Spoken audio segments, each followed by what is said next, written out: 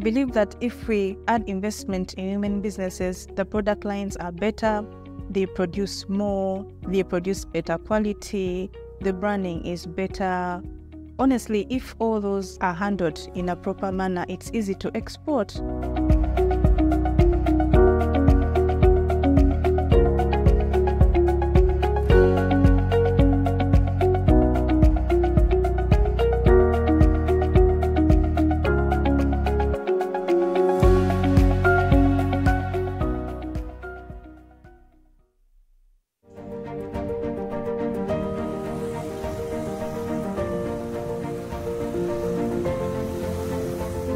I'm driving to one of the ladies to do a bit of due diligence here and there.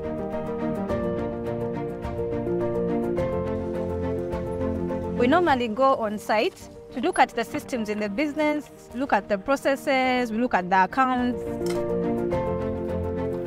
Mkazipreneur is a community platform that we started to create tools and resources for women entrepreneurs to thrive.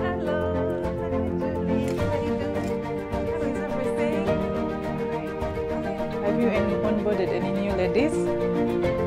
We have two accelerator programs currently ongoing. We have a, a Fund Her initiative with USAID Feed the Future and the NSSF Hi-Innovator. We do have partnerships with a number of banks here in Uganda, and the terms we have with these banks are a bit favorable for the women. When we connect women to capital and funding, it helps boost their production. Many years ago, when I started my first business, it was static. It wasn't growing. Then we met a couple of friends. We kept discussing what's happening. Why aren't our businesses growing? Why aren't we getting the opportunities that the men are getting? We kept asking ourselves these questions. So we'd meet here and there, three to four people. Before you knew it, we were eight to 10 people. Then we were 14 people. So I started Mkazipreneur to create a space for women entrepreneurs to grow. The approach I used was to create a community for women entrepreneurs. So in there, we continuously do surveys to understand the needs of the women. We continuously create for them tools and resources that they need to grow in their businesses. Today we are going to look at the importance of profiling your client and how this translates into how broadly you can sell your product. This is a, a, group of people that found me at the time when you need real support, intentional support. And today we've been talking about how to profile your customers and, and get value from the data that, that you collect that is going to help you actually uh, rethink your product and be able to customize it to their needs to our biggest market. We try to make these uh, businesses investor ready, especially for the women.